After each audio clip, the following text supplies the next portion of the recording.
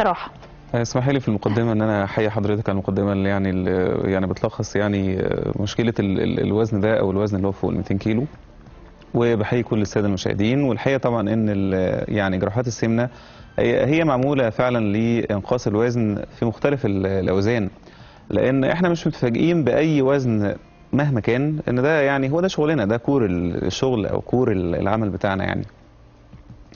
حضرتك قلت برضو آه، حاجة إنه يعني إحنا مش لازم نضغط على الناس اللي هم آه، وزنهم زاد بزيادة مم. هو فعلا هم مش أكولين بطبعهم هو الجسم اللي بيدفعهم لأن هم ياكلوا مش اي اكل يعني هو عايز الحاجة اللي فيها calories عالية فيها طاقة آه، عالية مم.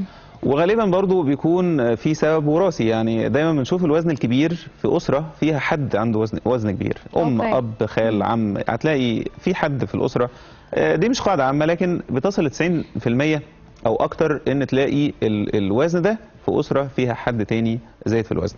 فهو مش سببه خالص. يعني هو مش سبب الأكل الاكل ليس المصدر الوحيد. لزيادة الوزن. لأن أحيانا إحنا بنشوف يعني في ناس بتاكل أكتر منك كواحد وزنه كبير آه، وتلاقيه ما- بيزيدش. صح.